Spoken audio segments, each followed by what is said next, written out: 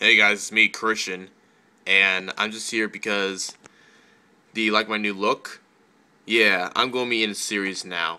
And what are you talking about, man? You're not the real Christian. I'm the real Christian.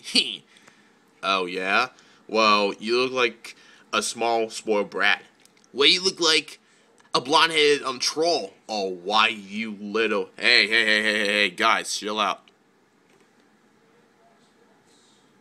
Okay, I'm kind of confused. What the hell's going on here? Why is there two Christians? Edge, come on, man, it's me, your buddy Christian. No, Edge, it's me, your buddy. Well, fortunately, I have no gun here, but I can't really tell which one of you is a real Christian, so how about we just have you both in the show? Sweet. Hehehe, awesome. I'm getting a headache.